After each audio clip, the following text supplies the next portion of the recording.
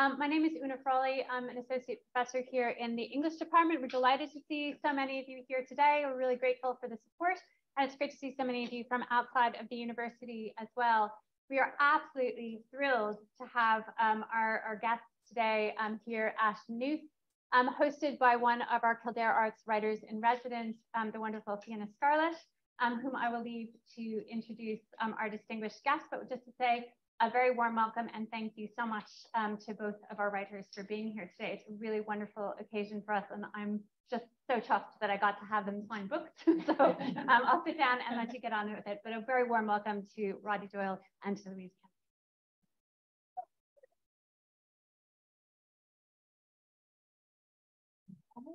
firstly familiar faces out there and some new faces as well. And a big thank you to everyone who's here in the room today and also for those who are joining online um, for our next Working as a Writer series with the phenomenal Roddy Doyle and Louise Kennedy. And Roddy Doyle is the author of 11 novels, two collections of stories, two books of dialogue, and Rory & Ita, a memoir of his parents. He has written eight books for children and has contributed to a variety of publications, including The New Yorker, McSweeney's, Metro and several anthologies. He won the Booker Prize in 1993 for Paddy Clarke, Ha Ha Ha, Roddy was also, has also written for stage. His adaptation of his novel The Snapper was produced at the Gate Theatre in Dublin in June 2019, and his play Two Pints was at the Abbey Theatre. He wrote the book for the musical adaptation of his novel The Commitment, which premiered in the Palace Theatre London in 2013. He translated Mozart's Don Giovanni in 2016 for Opera Theatre Company in Dublin. He has also written for the big and small screens. Screenplays include The Commitment, The Snapper, the van, and for BBC Family. He lives and works in Dublin. Louise Kennedy grew up in Holywood and County Down and has exploded onto the literary scene with her short story collection, The End of the World is Back in 2021, which won the John McGahern Prize. Her debut novel, Trespasses, already has won Eason's Novel of the Year at the An Post Book Awards, was shortlisted for the Waterstones Debut Fiction Prize, the Barnes and Noble Discovery Prize, and recently longlisted for the Women's Prize for Fiction. She also has a PhD in creative writing from Queen's University Belfast, and before she started writing, she spent nearly 30 years working as a chef, and she lives in Sligo. So Louise and Roddy, a huge welcome to the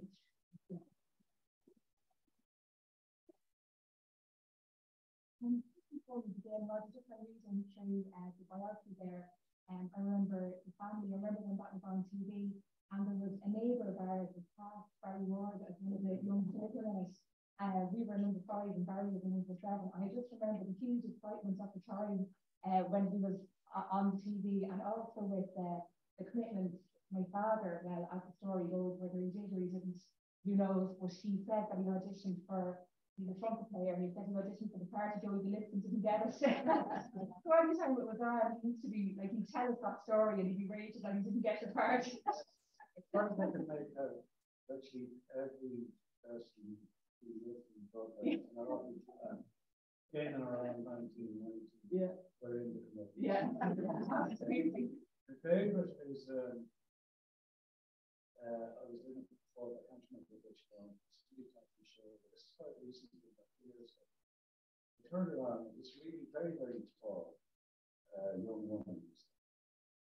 And uh, she was over six foot. She's very tall. And she said, Are you Roddy Doyle? I said, I am, yeah. And she said, I was in the snapper. I was to be in The baby.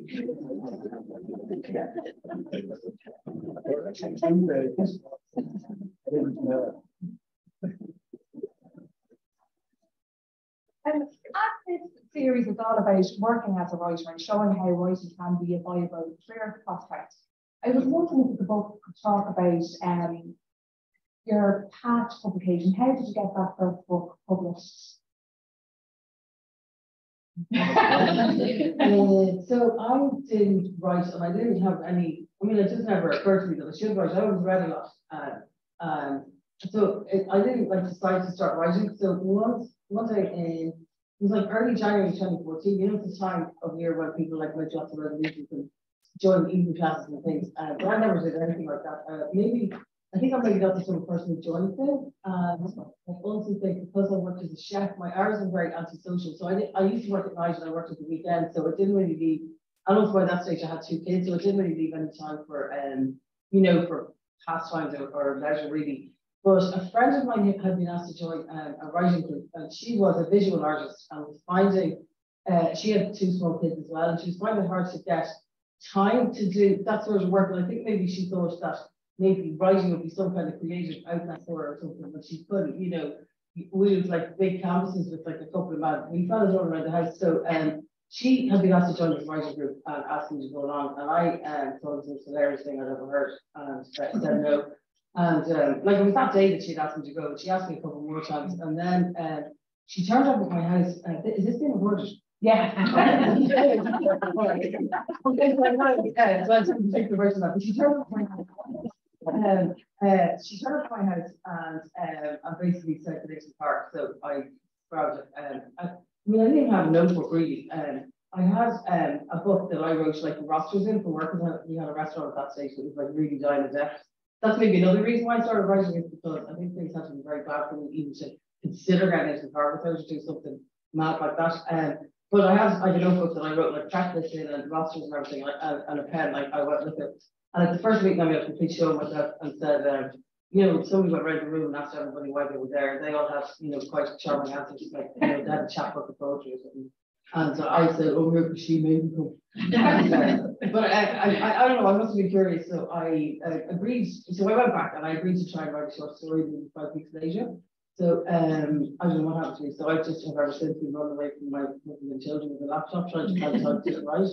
Um, but I think so maybe really how I got uh, ended up in the book is because I within a writing group we would you know we each I suppose we, because there were eight of us, the turnaround for about eight weeks, and you'd have to produce a new story every eight weeks. So so that just meant that we were like I was always writing, and um, then about a year later, because our restaurant uh, collapsed uh, and we ended up in Joe, I um, was able to get funding uh, to do a master's in creative writing in Queens, and then I got one for a PhD.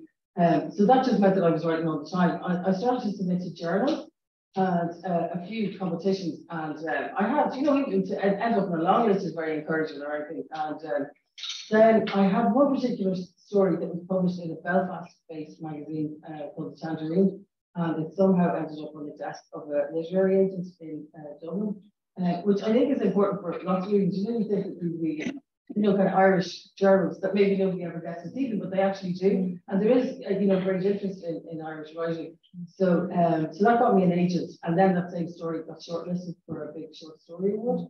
And based on that, then I had a, an insane kind of, I don't know, draft of a novel, but I fixed up 10,000 words. I also had about 12 short stories at that stage. So my agent was able to go out with that work. Then, yeah. So like like to fix up the ten thousand words from the draft I had was ridiculous. But um, I I thought it was fabulous, but I tried reading it and had look at have written one. So I just like fixed up the block of prose and uh, she usually would email me, but she I'd say about an hour after I had said she phoned me and said, um, because you always do with very posh English people and said, you know to chat to me. That's like what I was chatting. And then he writes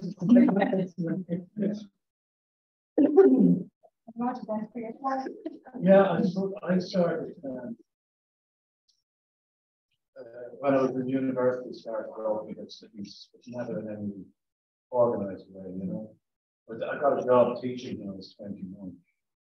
And then the first summer holidays arrived, um, June, July, and August. So I thought, well, I can start writing, and I decided I'd start writing the following. So eventually, anyway, I got into the habit of hopped on, I think, quite quickly. But if you want to write a novel, which I did, you have to do it on a regular basis, the same way that you read the book, some, some certain amount of a. So I got into the habit of writing particularly June, July, and August. I think it was 1982. Uh, and uh, a lot of the habits that I still have now about uh, my work routine date back to mm.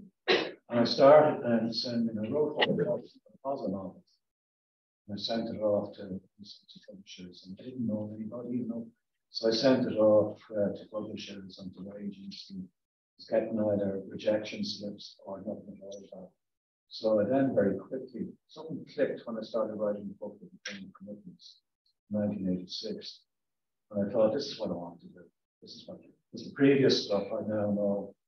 Um, so what probably academics would call shite. Commitments are just something. And I thought, well, I'll publish it myself. So that's what I did. And a friend of mine found out how much it could cost, what we needed to do, and published it ourselves uh, in 1997. Then I sent it off to English publishers, and one of them in particular, who, who was my publisher up until very recently, he retired, he was very, very keen. But it goes back so far that I was living in a bedsit in Dublin, and the first time we spoke, he had written to me to say, I had sent him the phone number the pay phone in the hall. he said he'd phone me at such and such a time on the 17th of June. So I was kind of in the bedsit, waiting for the phone to ring so I could let it down the stairs and get to it before a guy who was in the flat nearest to the with the, the phone would pick it up as he invariably did and said, No, he's not. yeah, it's before any sort of uh, mobile. Yeah. So that, anyway, by publishing it myself, that opened the door for me. Uh, but it's a long time ago. Yeah. So I think conditions are very different. Yeah, and I just think it's so important for people to see there's lots of different roads yeah. to get published. There is no one shoe fits all that you sometimes might think that you need to know people in publishing or all these different things. There's so many different routes and um, to get there. And what I think is interesting as well for both of you before you came to working as a writer, you had a career, well, you yourself with teaching and you yourself as the chef. And, and is there anything from those careers that you think you brought into your writing? So, um, a little bit about teaching, but very, very little. Yeah. Not really, really interested about writing by myself.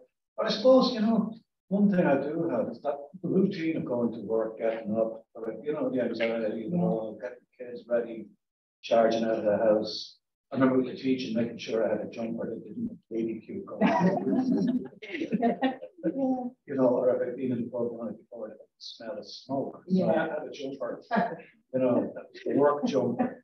And I think they took uh, staff photographs at the end of you know, the end the academic year, and, you know, I think I was going to see same jumper. I will tell you, had a child of two, child of two, you know, two kids. Yeah. So, um, but yeah, the routine of working, having colleagues, yeah. you know, yeah. having colleagues, is what writers don't, which is actually the plus on the mind, so yeah. being a writer by yourself. So, uh, an awful lot of um, just experiences, whether it's work or not you bring you, not necessarily directly on the page. Mm. It's hard, it, it's, it's stuff you dip into. Yeah. And you miss that um, friends and colleagues, because I know myself um, teaching for a long time for um, for the made the switch. Um, and I do, I do miss that.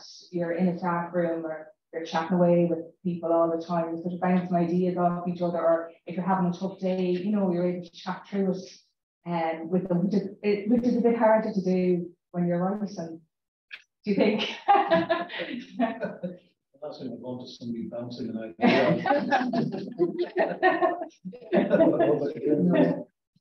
And what about the shifting then, Louise? Do you think any of that skill or knowledge that's happened that um, fed into your writing at all in any way? Um, well, I think that because if you're a chef, uh, the hours are pretty antisocial, and that could mean anything. You know, you can do breakfast shifts, depends on what that's for weekends and stuff, and um, and you you know you could cook for a split second on a Saturday when you're walking in to work at ten o'clock, and you know you're not going to get out of there until midnight, and you know that there are going to be loads of people who want to eat, you know, at the same time, and um, because it's got money that they might not always be happy, um, and you could start to feel really sorry for yourself, but you just can't even entertain that.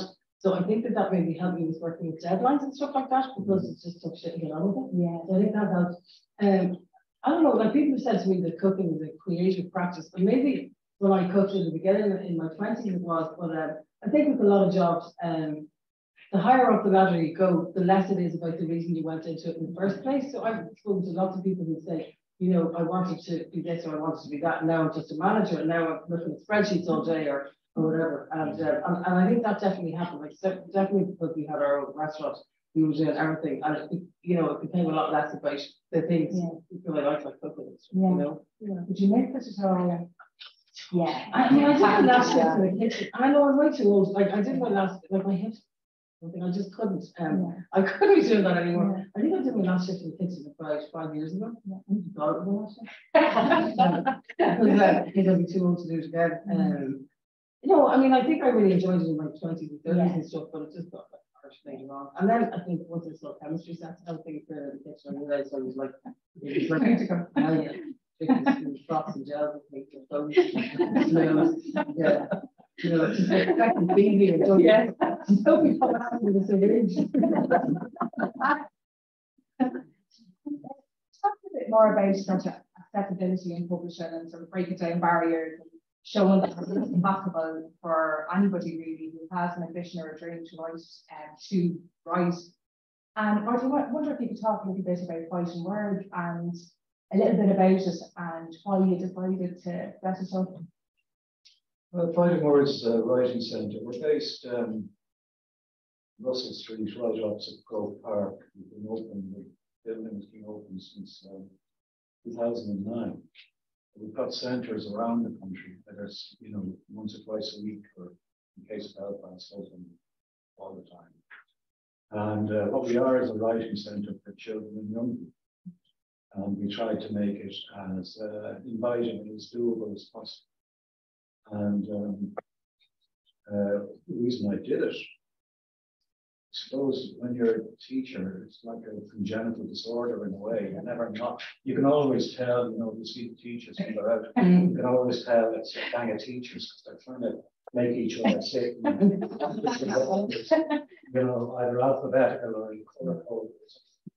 But I suppose that that part of the, I love one aspect of um, leaving teaching that I regretted was not having the company as secondary school. Yeah. Not having the company, you know, hundreds of children, you know, and teenagers, co-ed boys and girls, great mix, you know, brilliant mix. I kind of missed that. And also, I was a teacher of English uh, up until 1993. But I don't think I ever got the chance to read a short story written by a child because it wasn't on the exam paper. Honours English, they didn't write fiction back then. And it was only the books were all about people who were dead. Um, it's not to say the work of the dead isn't worth reading by any means, but it was all, it was kind of here we were inviting people to really this incredibly creative work in the least creative way that's possible. Uh, it always left me feeling a bit angry. Um, when I left teaching, I'd written, i had, was just about my fourth novel uh, published, but I wasn't able to give my experience to kids because all I'd be doing is preparing them to believe in Sarah English University. You know, something perverse about it always. So um, I thought just, you know, we open up a center and offer an alternative uh, on work. Saw down one day that was the writer, he had opened an equivalent place in San Francisco. And it was magic, absolutely magic. Watching a bunch of Hispanic American kids writing a story the all together. Really, really magic. And I thought, that would work in Dublin more writers So um, that's, you know, I, I think my involvement in fighting words is like being a grandfather. Teaching, you know, because I'm a man, father, you know, you're stuck with these kids for a year, sometimes five years. The fighting words are more like a grandfather. I have their company for a couple of hours and then they just pull it They're lovely before, you know. But it's, it's, it's a huge pleasure watching the work of people opening up and becoming better. And we do work in prisons as well, and that's a different pleasure. Uh, I that, uh, I suppose in a different, I'm using pleasure in a different way, because it's never a pleasure to see people incarcerated.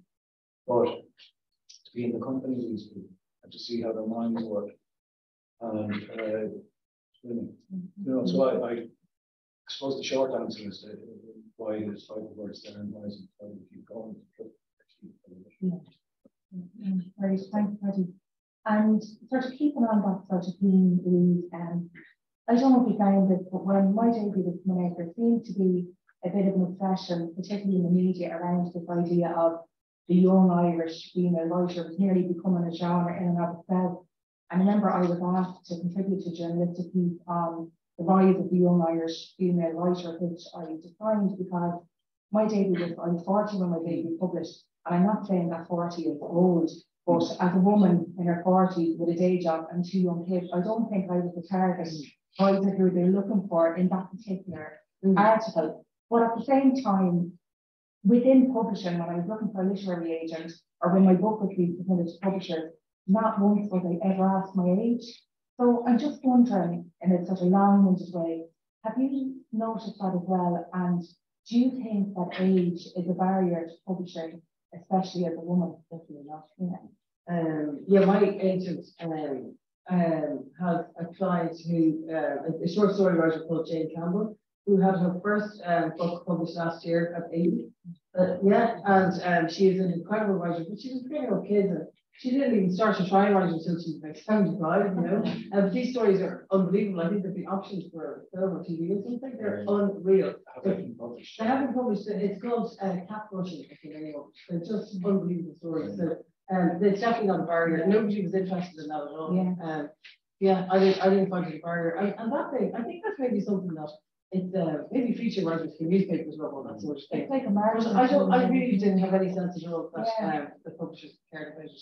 I, I also think that it's maybe not healthy to young women no, to be all lumped in together exactly. with that nonsense. Yeah. And, um, and then also, um, I don't know, some people got very annoyed on my behalf because one of my short stories came out in 2021, um, lots of journalists wanted to talk about my age as if I, I was like the oldest person ever. Like, I was 64. Like I went, you know, I'm not a big chicken, but like Jesus, you know. Um, like lots of people started so especially a lot of, you know, a lot of people just took that to the chat to do it or whatever. And um, so that was ridiculous. But um, and so one of my friends was going mental over it. Um, but at the same time, I was getting messages from uh, women my age and maybe older who were saying they found it very encouraging. Mm. And if that's the case, then right, yeah. you know. I've never been asked my age. Yeah. Now, there's another thing. Yeah. Somebody said that men don't get with, with no, nobody's no, interested in I might now because I'm 65 very soon. So I might say, I'll get right to the age. You're all this by yourself. So that might happen so far. No. I did a, um, I was asked to curate, to pick three new books by three new writers for a festival to talk to the three new writers, three Irish writers, so Irish. And so, um, and I was at a little email came out, but I make sure one of them's a man. So it was almost like a flip. Yeah, yeah. Yeah. So, um, yeah. But I think it is probably because of Sally Rooney, because of others, you know, you get this, all the new Sally Rooney. Yeah. That's not very sorry. No, no, but it's almost an habit. Oh, it was for a while, uh, the new Medidor, mm. that stops and it comes to new somebody else. You did that in the past as well, I think. Yeah. yeah. These kind of 20 yeah. mad voices yeah. from the country. So at the moment, I think it's a great time. Yeah. I suspect. And it's um but it's exactly as you said, it's sort of the publishing marketing machine or the publishing sales machine that try and box it into these little boxes, but yeah. whether it is like you know the next Paddy Rooney, the next Roddy or whoever it is. And you can find yourself a bit if you don't fit into mm. one of mm-hmm. those. But that's on the outside. From the inside, it's very different. Like as you said, Louise, there was never any mention of age at all. Yes. You know, so well, I think as well that uh, a lot of it depends on. I mean, I think that um, readers, I suppose, it works too well if readers connect with them. Yeah. But unless they get into the hands of readers, you have to hope in hell. And a lot yeah. of it depends on who's doing the PR yeah. and, um, and, and how well you work with them and, and just what opportunities they get. And some of it, unfortunately, does depend on hideous things like sales and marketing. Um, you know, because they have to try and get the stuff into the bookshops. Yeah. And if they don't sell, then they won't publish it again. You know, it's not simple. You know, so a lot of that is, um, you, you know, there's kind of some very real stuff there about money that um, and what you just to for that. Yeah. But the bit Right, that you were saying earlier, Louise, that the only thing you can control is your book, it's the writing. Yeah. That's You, you don't, you can't, you know, No, do absolutely you don't know not. gonna happen Yeah. about it now. Probably jumping the gun a Yeah, yeah. Yeah. Yeah, yeah. And if we, if we get back then back to the writing again, um, would you mind talking a little bit about like Reddit things like writing the road back about your process? And do you have like a particular structure? Would you write every day? Have you got um do you have a pen or a chair or a space or whatever? Um, I, yeah, I, I try, mean, I, I was writing every day, it's just, it's, uh, because I've been having a go away and, uh, a fish lately that I find it very hard. I, I went, uh, I went to Australia and I brought like notebook and laptop, but I write every day, and then all I do is just like lie in bed, trying, trying to figure out what day, what hour it was, because I week out, because I'm so tired. So that didn't happen, so, you know, uh, I mean, I think, I think Anna, Anna Enright says that, you know, that maybe you should treat it like yoga, that it's a practice and just like do it every day, the way you do anything else you know, like that in your life. Um, so I, um, I don't know. Uh, it's it's sort of hard to say because I have one book of stories and I have one. No, so it's I don't know what it's going to be. Do you know what I mean? It's not like I have a thing that I know that I do all the time. Because the approach to the stories is probably very different. Yeah, Um, I didn't think I was writing a collection, um, which probably helps a lot. Because if I had thought of what the amount of work was ahead of me, I just wouldn't have done it. Um, so I just, I have an idea for a story and I work on it and try and figure out a way to make it work. And then I would not so much finish it as, um, as give up on it. And then I'd move on to the, another idea and keep going. And then I seem to have maybe, you know, a dozen or so stories that fit it together. Um, but with the stories, I was probably like, because sometimes I didn't really know what I was trying to get at, that I'd, uh, I'd maybe write a couple of pages. And because I didn't know how to move forward, I just edit and edit and edit those until they were like really tight and on the verge of like being really airless. And then I like force myself onto the next pages. But I think I knew with the novel that if I did that, it would just never happen. So, yeah. So, um, but I, I was sick and, uh, I was off work, I was gonna be off work for three months. And, um, I spent about three days in the chair watching like Netflix and, um, and taking painkillers and I just thought, I need the chair to do something. So I decided to try and write a novel, um, in those three months. And, uh, so the only two, I made a deal with myself to try and write a thousand words a day. Um, which I already knew like was wasn't gonna happen, but it happens a lot of days. And to not look back at the absolute mad dribble that I've written the previous day, and just to try and push forward. And, and at the end of like ten weeks, I had sixty-four thousand words Mm. of what could very charitably be called one. yeah. Yeah, like a blog. Yeah. Um, so yeah, I don't know if that's the process. But then most of the work, I mean, that was three months of work, but it was like two years flat out of trying to fix up the maths in the first draft. Mm-hmm. So I probably had nine drafts, I would say, like we're all the way through. Yeah. Yeah. Yeah. And it's interesting just hearing the different processes then between the different forms, between your short form and the novel as well. Yeah. And do you find that as well, Roddy, then do you have different processes then for your different? Not really, yeah. well, I suppose, yeah, I mean, you bring different priorities into the room if you're doing a different job, yeah, but it's, I, I tend to, I've always worked kind of Monday to Friday. Was nine, five or six, get the kids from and out to school. And then I was a teacher when I was writing, so it didn't seem, it didn't seem to make sense to kind of work into the night. It felt a bit selfish, you know.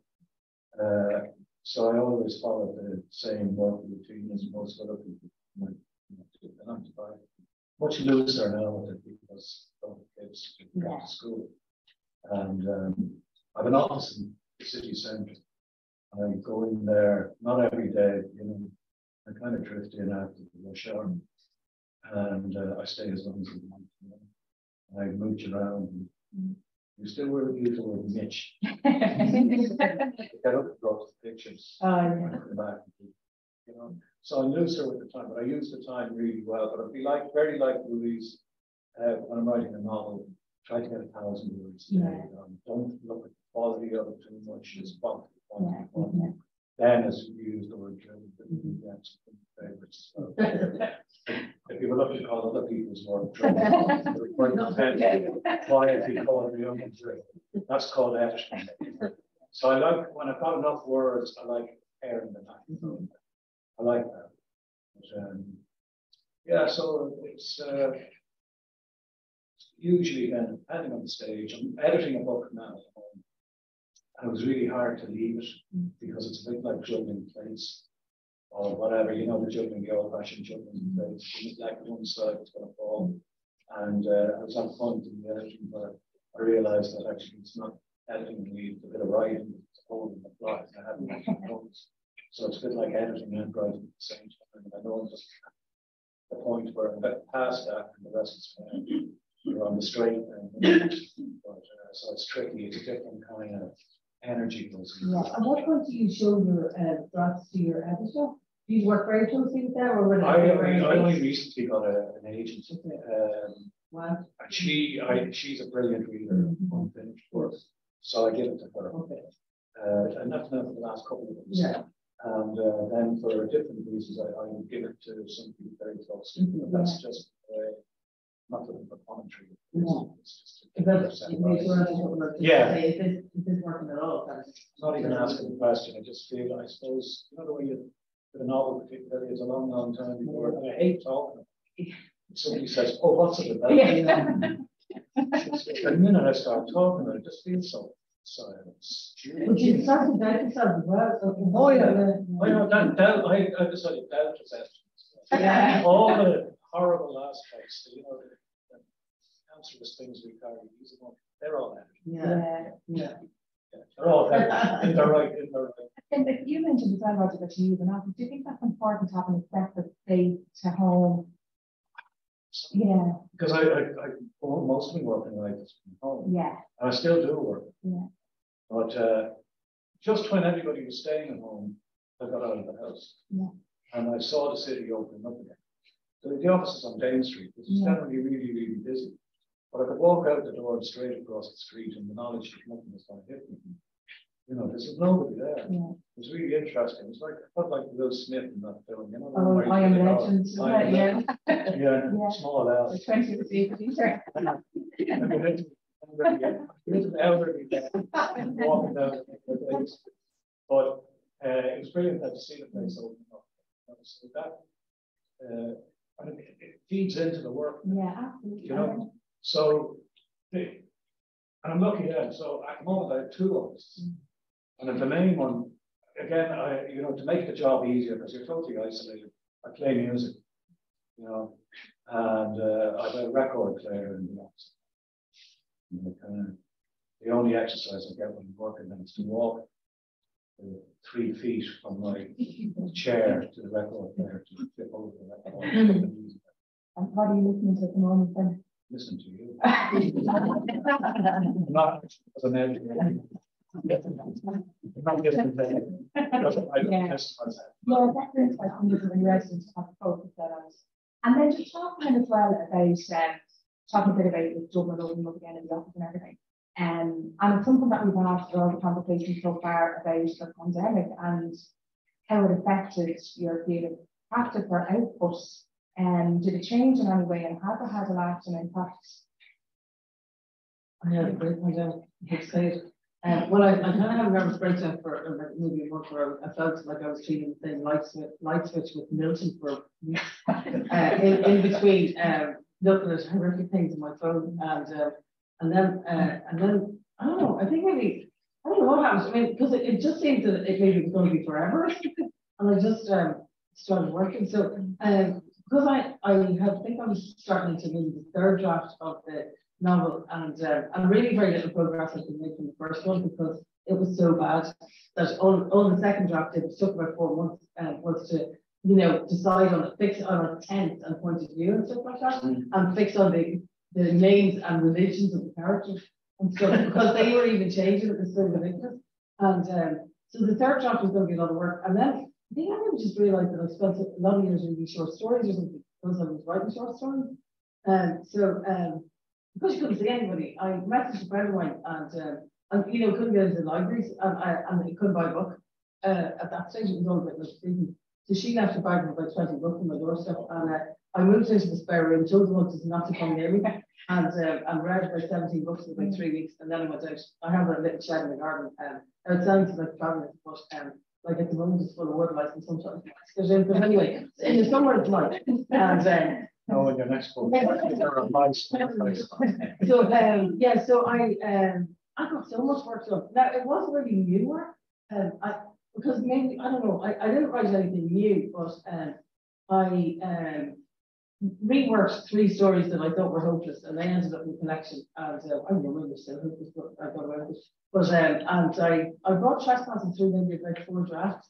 I finished the BHC, and I wrote some articles and stuff. Um, and I absolutely love to be locked down again for six months to of work. Because um, I was just pretty productive. You know, there was nothing else to do.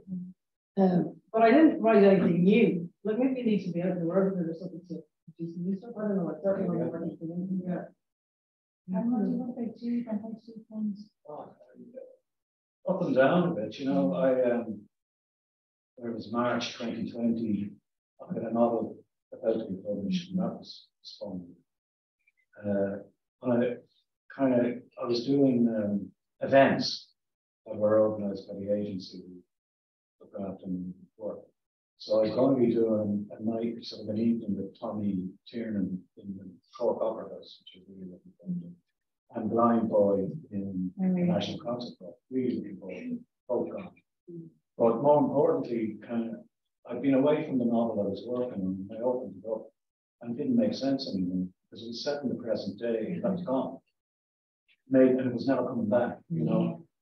So I, for the first time ever, I don't work I knew I was. How far into it were you? actually?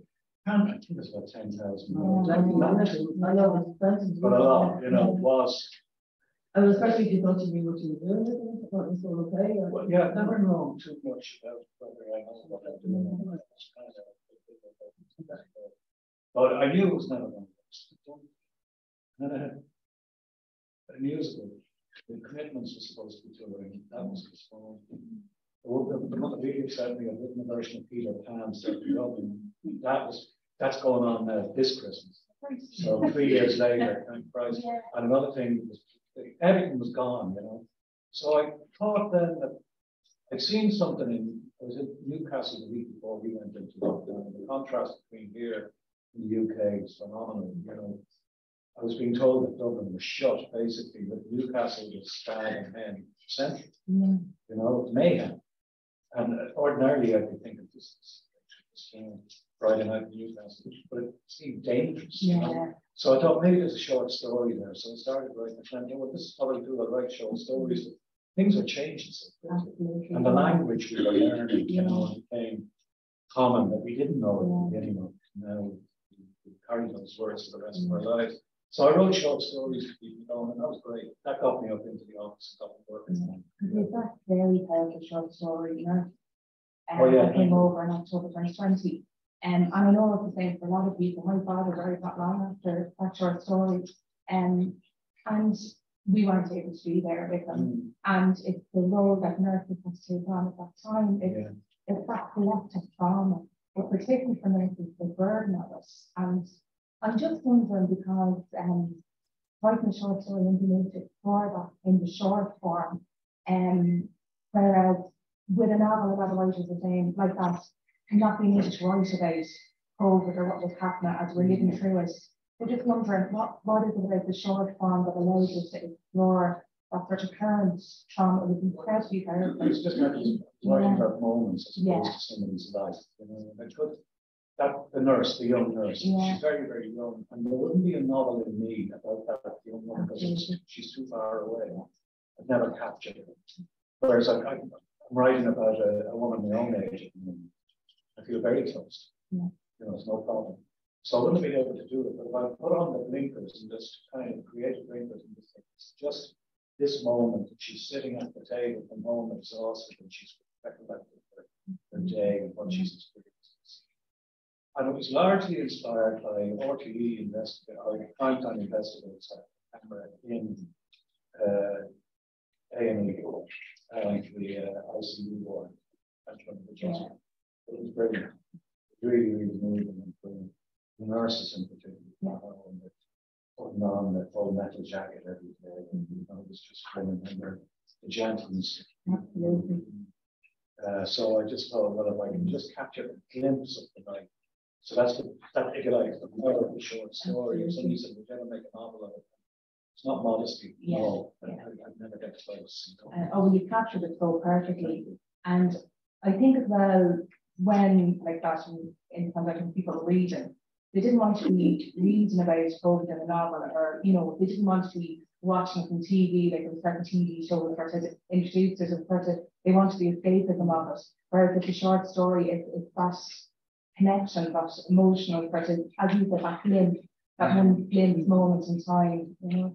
But yeah, it's probably incredibly powerful. Thanks, Roddy, for writing us. And if anyone hasn't read it, the uh, nurse definitely give it a read. Um, and then just talking then a bit about, so, like, Roddy, the commitment was published in 87, is that right? So That's right, yeah. How have you seen uh, the change in publishing really at that time? Well, has there been much of a change, do you think? Or? I suppose there has. Yeah. There's more of it in Ireland, that's for sure. The commitments, I published it myself. Mm. I found out later it's often described as vanity, which I think is you can just actually hear the people vanity. you know, Twits has never had anything. So uh, it got a lot more attention, I suspect, than it might do today. This is a lot being published in Ireland, a lot of fiction being published, yeah. a lot of great stuff being published in Ireland. It's no longer the case. You know? So it's changed in that way. But I don't keep I don't keep much of an eye on it, to be honest yeah. with you. I just do my work and when I have a book ready, I give it to my agent.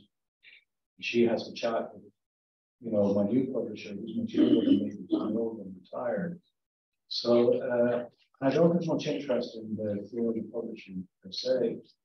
And when somebody says, oh, you must know such and such, I really don't know such and such, you know. So I think it would seem to me that there's a lot more being published. So the, the process for publishing for you hasn't changed in that time? It's um really no, from my perspective, no. Yeah. But I'd say if you're talking to an agent who's been through, if you like, if 1987 is what 36 years ago. Mm. So you're talking to say somebody with my an agent with the equivalent mm.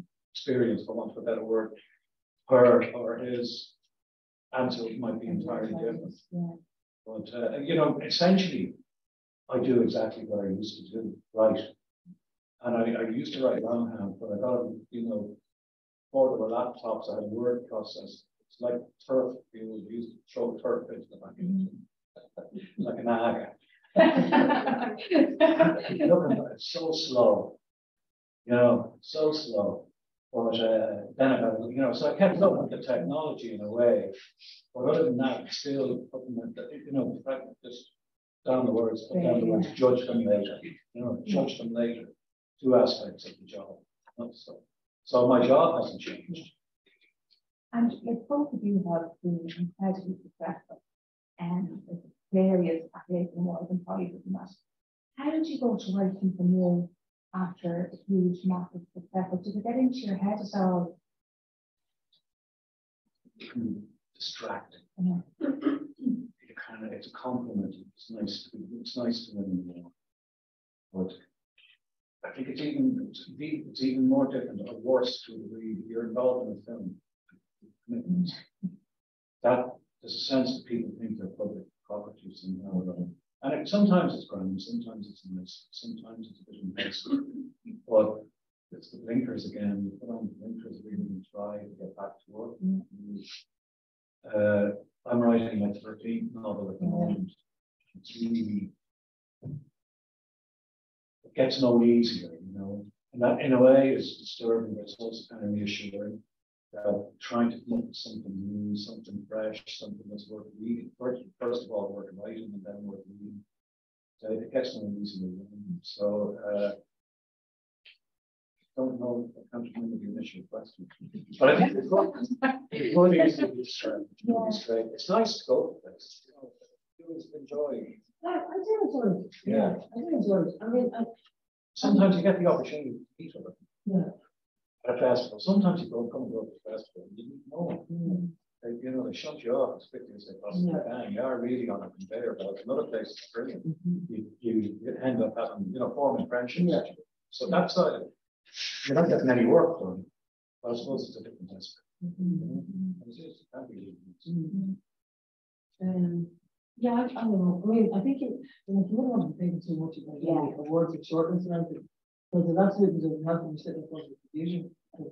um, uh, maybe, I don't know, um, I don't want to say pressure because, um, but yeah, I don't know. I mean, I guess there's always the fear that people are going to think the next thing is shelter. It's just, even not that they're going to think, it's just that it is going to be shelter.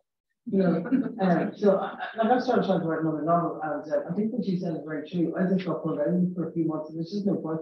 I'm going to have to maybe start from scratch again. Yeah. I think I have a block of, it, of the summer and a bit beyond it with nothing, and maybe that's the time to do it. Because now, uh, like I just feel like I'm very much out of it now, yeah. and I'm probably going to have to find another way in. And maybe that's okay, but uh, you know, but um, yeah, I, I, mean, I think I, I got to about maybe hitting thirty thousand words, uh, which meant that up until about twenty thousand words, I was starting to think, this is like the best idea in the history. Mm-hmm. And then I got up at that stage and like you're actually ruining your own life, you know, you've been trying to make this work, like it's just a disaster. So like falling in love, isn't it really? You and then you realize person falling in love with actually. then bit of a offshot. ever again.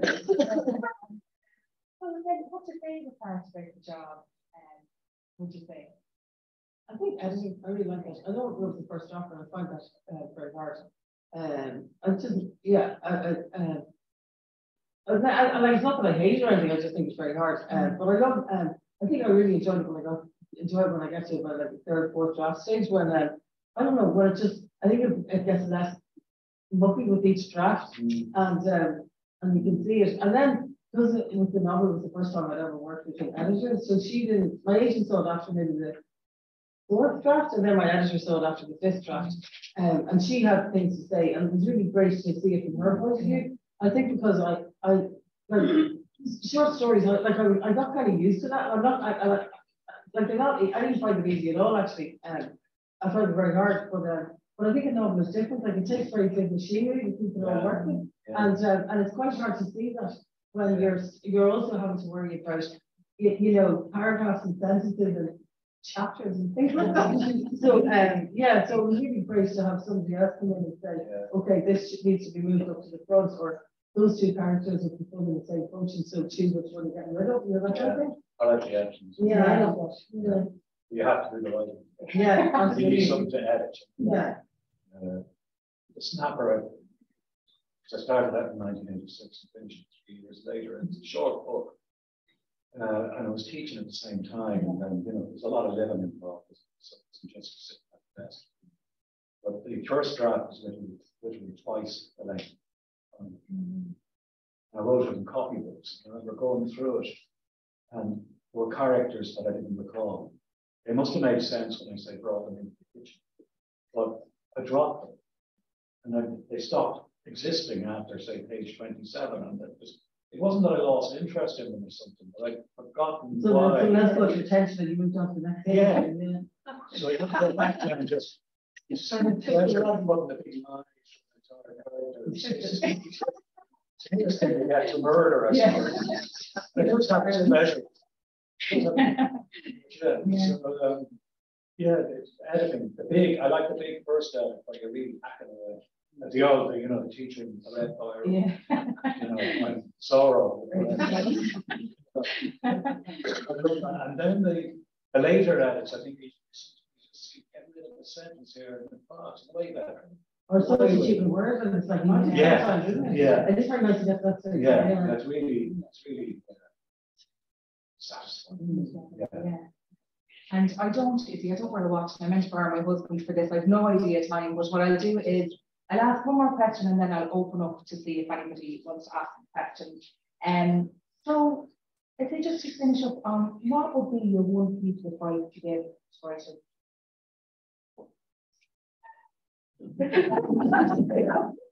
and just having no, be kind to yourself. Make you know, make it as you know, I think the idea of quantity before quality is really quite important because you can measure it's easier to measure success. Or, you know, at that point, you can, you know, if, you're sitting writing and you just, you know, you've been there for hours and you realize you, you actually haven't gone to a new page, it's very hard to find the momentum to be back the next day. Whereas in the early stages, you're just trying to. Like, suppose it's no coincidence, we're probably not the only people trying to get a thousand words. Mhm. It's a good figure. You can feel it. You can, but that's And it's three pages, so you do something Yeah. along with it very, very, quick- so Yeah. very quickly you're looking at, yeah, you know, you know, maybe within, um, you know, within a week, you've got thirty pages, or Yeah. not thirty, ten days, you've got thirty pages, or whatever, Yeah. that's amazing. And there is- So it does go down very quickly. in my head when I hit page fifty, I really do start writing now. Yeah. And I read that somewhere else. Somebody said the same thing. Uh, and a, a page measuring words is better than pages. because if I write it out as dialogue, That's what couple of hundred fifty, one hundred pages. yeah, it'll be three pages. Exactly, yeah. You know, myself. Yeah. This, we are conning ourselves. to do this, But it is important. I make it very easier for myself by playing music. Uh, so there are other things, but just to be kind to yourself and not to be too. And I've, I've also, you know, I've, I've seen people on Facebook putting what they did today. I've done that. I think, It's hard to say, but. A I'm trying to leave myself off. You put like reading up. no, I, I keep it to yourself. You know, obviously, if you're showing it to friends, to friends and families, that, that, you know, you're, you're just. And, and the often wears, but, you know, you know, they, they say nice things about it. but Won't be accurate. So you better not keep it to yourself, keep it to yourself. Try to be kind to yourself, that's all. Yeah. It's a rough. I mean, I love it. But it's a rough. Uh, can't be rough, you know, you're on your own all the time. No one gives a shit. really. You know, no one. Uh, That's right, rough. so you have to pop yourself up.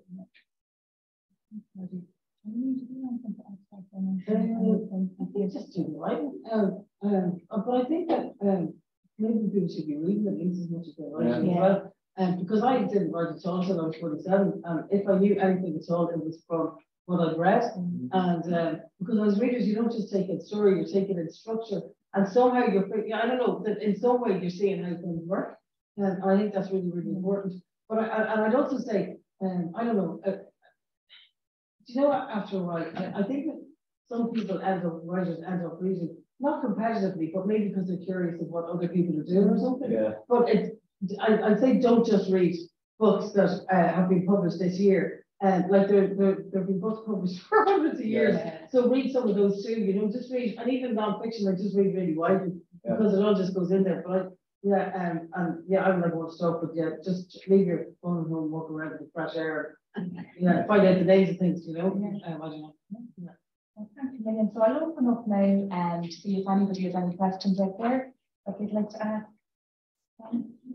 Thank you. My question is for Roddy, and I just want to start by thanking you for fight- uh, thanking you for fighting words, which is such a wonderful enterprise. And the question is connected to that. So I wonder, there's uh, that uh, divided um, belief on are writers born or are they trained? So I wonder, is it possible to train people, or is it a gift that writers have?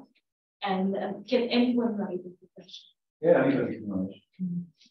Uh, we all, the great thing about writing is that it costs nothing, really, unlike other art. You know, So we all own the words. So they're all there. The vast majority of people know how to put them on page. So I think, uh, in terms of quality, I think there's a lot of people who never get around to discovering they can write they're not trained to sit and do it. So that, that kind of resilience isn't there. A lot of people seem to think it's about wandering around WBA's uh, wandering around hoping waiting for the right word. You know, doesn't work that way. It's, it's boring. But I think uh, a lot of people could write very well, and sometimes they might benefit from a bit of mentoring. People encouraging uh, and showing them what really works. You know, I, I take huge pleasure if I'm reading something uh, by a, somebody who wants to write, and there's some about the sentences that are really good. It's great to get to point it out and say, you know, that's really where it's great. You can almost use that as a template or keep going back to it remind yourself that you can do that. You go back and forward and see if you can replicate that without. You can help people along, but I suppose at heart, you need to you need to want to do it. you know, I've met so many oh, I don't have the time to write. And I know people are busy lives often, but I just have no time for it. You know, we can all say we want to right? And I certainly would have said it I was writing more, I've uh, had, you know, two children, a job. I still have time to write because I really want to do it. So, uh, but yeah, I think you can, you, ultimately it has to come from within, but you can certainly uh, encourage and, uh, you know, even sometimes it's a question of suggesting a book to people so that they can see the layout. Jennifer Johnston, layout of Jennifer Johnston's pages. It's an awful lot to be learned from a writing point of view. Yeah. Or Elmore Leonard, crime writing, leaving aside the pleasure of reading them. You learn a lot just by the way they use the page. The, the, the wide open space, the white on the page, part of the process, it's part of the storytelling, you know, trusting the reader as well. So there's a lot you can, you can help people that. Has to come from the Okay. Sorry, it's actually for Roddy.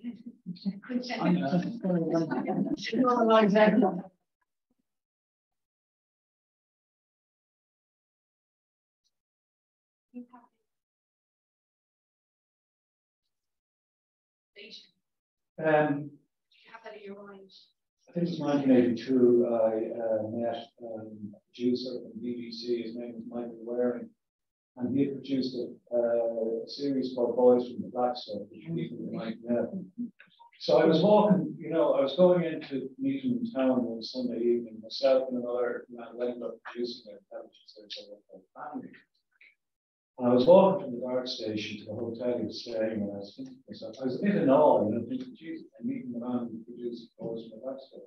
But I popped on after a while and said, well, the reason he leaves here because he wants to meet what will I do? So by the time I got to the hotel, I had this in my head, four characters, all from the same family.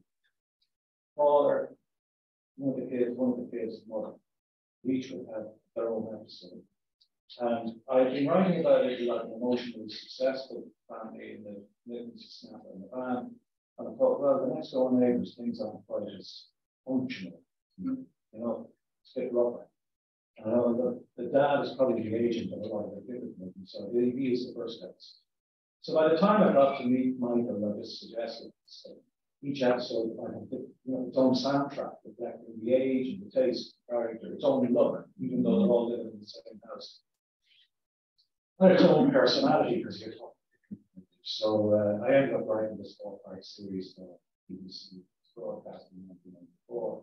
And as I was writing the last episode, which was Paula, why. I began to wonder more about it. The whole thing was set in a few months in 1993.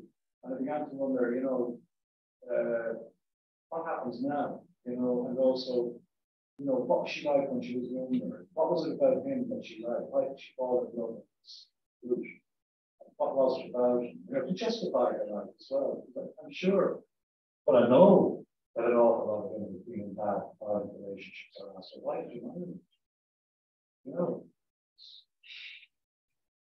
you know, it's, in some ways a reasonable question, but it seems to be throwing blame. You know, it had a bit of problem with them, you know. So uh, I just thought that, you know, and I could imagine her sitting at the table of projects. You know, the notion that he was shopping this. You know, I could see her sitting down writing, much the same as I used to you know, understanding the story better. So gradually that's what it So in a way it's unusual because usually it's the talk followed by the telly, but in this case it's the telly followed by the talk. And then I thought years later, I wonder what she's doing, you know, unlike other characters on the on the on, but she's always so of at the moment her again. Very She's she's 67. So yeah, she's always popped. Uh, you know, thought when the boom was on in Ireland, I thought that Paul would be a good you know, guy who's, who's rather writing something semi-satirical about money and property. No, you know, it's not, I'm not interested in money. That's, that's true. I certainly have no interest in property. And there's nothing that gets me out of the room quicker than two gobshites talking about the price of houses already. In a small house. The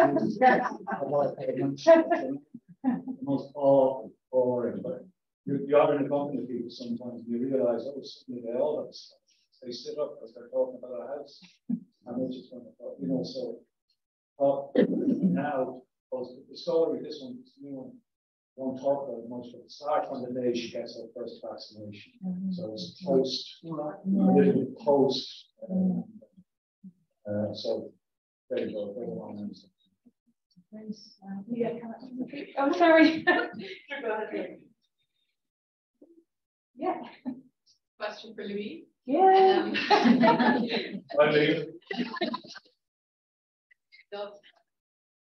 I'm just really interested how you talked about you just had an idea for a story. Like, how do you do the ideas come to you when you're writing? Do they come to you outside of the writing? How do you know it's an idea for a story or a novel or what uh, idea Well, uh, um, so I think with that book, um, the very first thing that I wrote for Trespasses had absolutely nothing to do with the novel, and that's the I was getting mixed up between the the prologue is the start.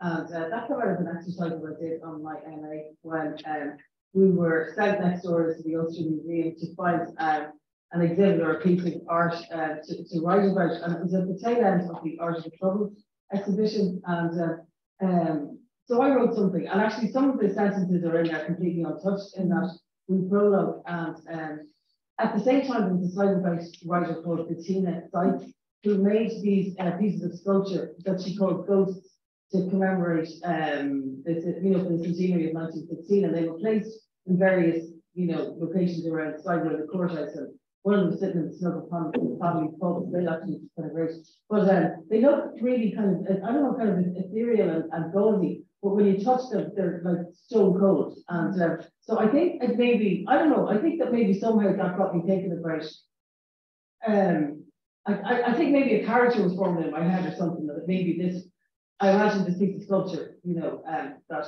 that has been made, you know, in memory of, of, of, of somebody who's a, a casualty of the trouble. But actually, I think Cushla, who's the main character, has been um, kind of bothering me for, for years. Um, I wrote, I had to write a play in MA. Um, it was, I, I hope God nobody ever sees it, but it was set in, a, it was very bad, but it was set in a bar um, in the in the north in the 70s.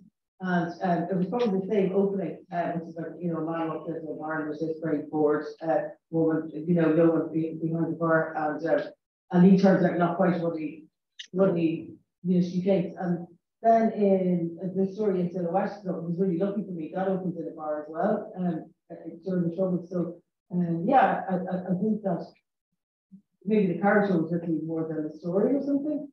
Yeah. Um, question for both Louise and Roddy. Do you both tend to write in the same genre the whole time?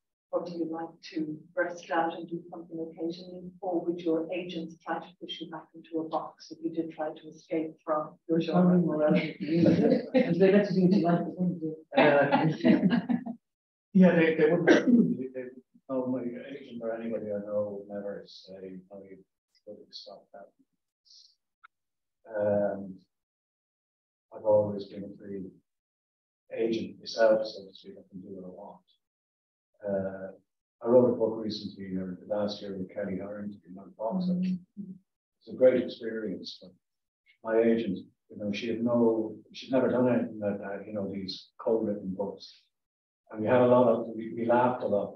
You know, she's talking about the negotiation going on and how you how these things are measured as opposed to how they're normally measured in the world of literature. But she never for a second suggested, I don't think we should do this. Um, anyway, she probably knew when I want to do something creative, I want to do it. And it's not about how I'm perceived or anything like that. So nobody's ever said that she, it'll always be, if a gun was put to my head I, I, and you were told you can only write one thing for the rest of your life, be novels. And uh, nobody's ever told me you should. It's a good feeling sometimes. I oh, yeah, I'd like to have a match, you know. And I could say to you now, and it's the way I feel, I probably only write prose from now on.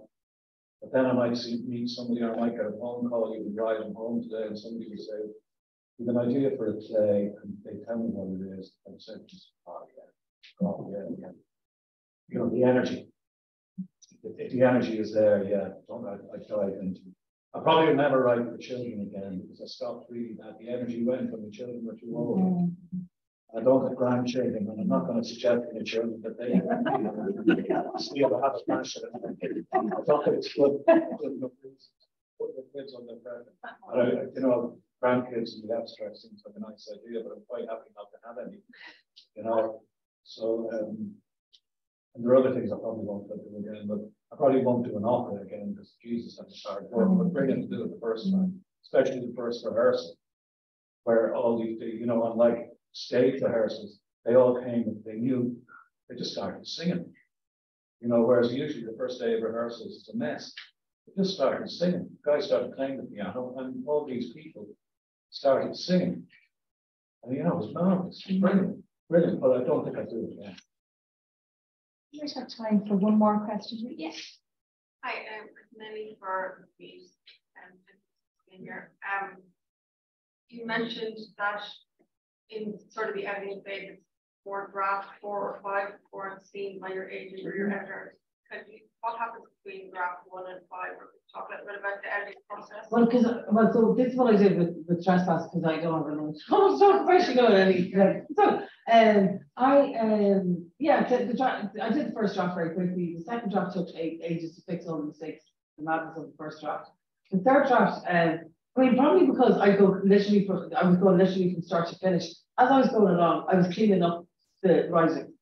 Um, and that just got cleaner and tighter because of the way that I did it as I went along. Um, but I think maybe something happened with the third draft that I was looking at um, a block of by that stage maybe 75,000 words. Um, and it, it still looked, I, I could see how much work there was to be done. And I think um, to uh, to make it look less awful, I, I broke it into five sections. And I worked on like one of those, you know, and then I'd work on the next one, then I'd work on the next.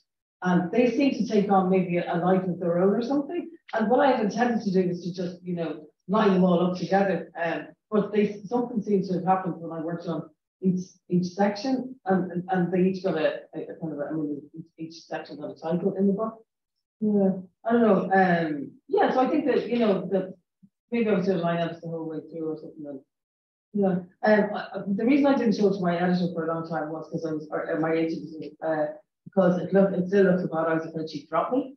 Um, I also wanted her to see it before I sent it. Um, before my um, editor in Bloomsbury saw it in case she uh, took legal action or something, or asked me to start writing another book because I couldn't, it just still seemed like a mess and I, I couldn't, uh, I just couldn't see, you know, the whether it was any way deeper or not, you know what I mean? I just couldn't see that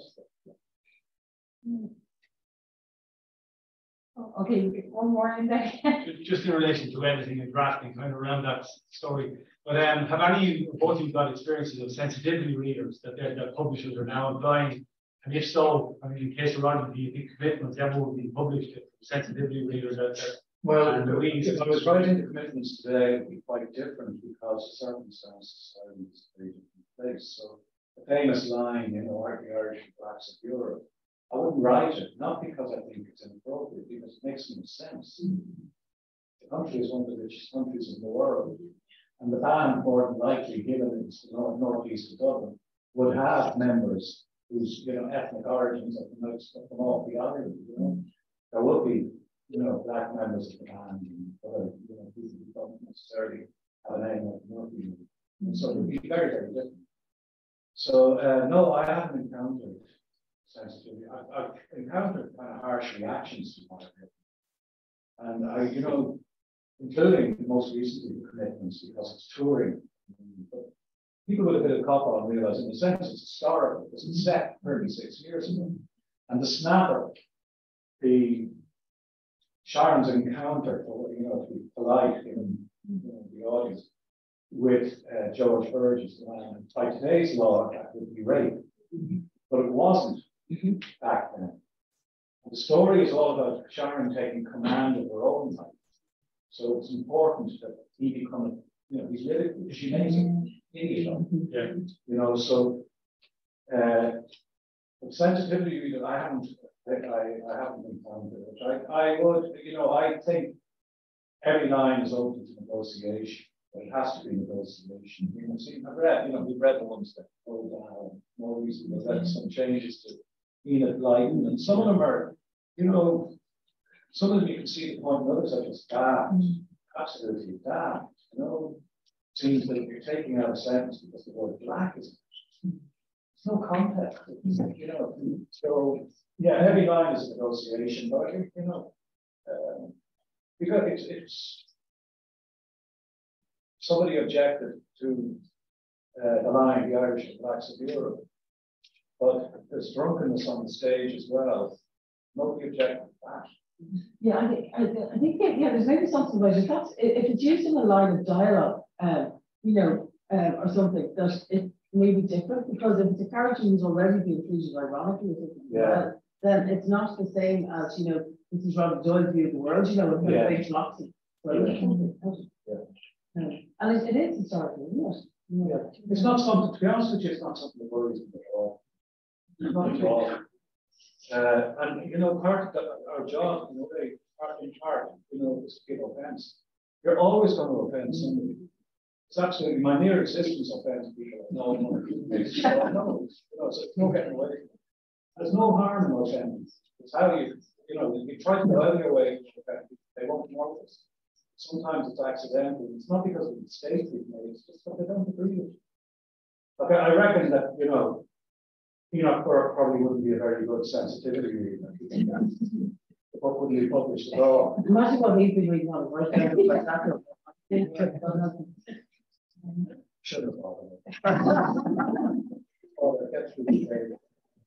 But no, just uh, again around that, you think the sensitivity reading? I'm sorry, I, am a former bookseller, so sensitivity to readers. Then it, it's it seems to me like a form of censorship in some form. Yeah, I think that's why again I haven't really all of well, I think a lot of the things I've read about are a bit tabloidy and sensitivity reader itself. It's not a job description of people that you want themselves. What to do for oh, I'm sensitivity and that, but that's lovely. You know, it's not something that doesn't make you sit up and that's a great job. But actually, I think that probably might be, it could be just a different form of editing, not necessarily. The examples we hear about are stupid. Yeah. You know, yeah. But there could be good, very, very good work going on. But if, if somebody said your mind is sensitivity reader, I think that's probably what I need. can we, you know, can we talk about what's going to happen? And can I, can we make sure that I'm still in control of this? And then I've got no problem. It's just if it's a new element of the editing process, grand. But if they come back and say, oh, that character can't say that because it offends me. Oh, you know, people offend other people all the time. So, or they say they clean up the language. That nobody has ever, ever, ever suggested that. Good. And I think in different places they have different priorities as well. Yeah. They get bothered about. Like um, uh, a lot of young American women have come after me saying that it's absolutely filthy and disgusting. The 24 year old is with uh, an older man. Whereas um, I had a lunch in the Paris yesterday and the French think it's fantastic. like, of course he's having an affair with the young woman, you know. like, so Yeah. No as if you're encouraging young readers. You know, it's all these young readers, you're encouraging bad, you're a bad role model, encouraging young readers to smoke. But I don't think that's what we were talking about. But, you know, again, it, it's not something I would personally do. Right, I think our time is up. I just want to say a huge thank you to everyone um, for being here, but especially to both Roddy and we have been so generous with your time and your knowledge and your expertise and your craft. So thank you very much.